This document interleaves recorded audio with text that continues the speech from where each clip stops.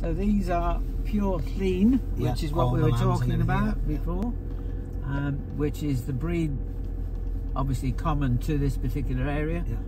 And we have, we, we, I don't think we've talked about breed, different breeds before, but I would think Britain as Britain as a whole has got more different breeds than anywhere in the world, wouldn't you? There is, yeah.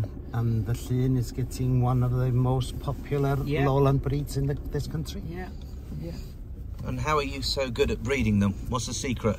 50 years. 50 years. Time. Age. Yeah. Time. Yeah, 50 years this year. Hello, uh, this is uh, Wyn Davis. I'm from the Llyn Peninsula. Uh, we have a flock of Llyn ewes here, pure breeding for showing, and we sell all our wool to Baavet. We have a prize-winning flock.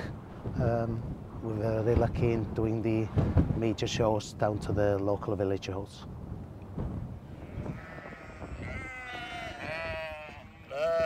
Time has flown. Uh, we have sell, been selling wool now to Baavet for over 14 years, and um, I am very pleased with the outcome of what they're doing with the wool.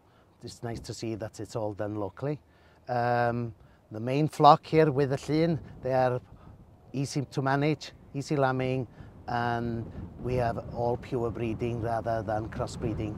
It's uh, everything is sold for uh, breeding in a sense.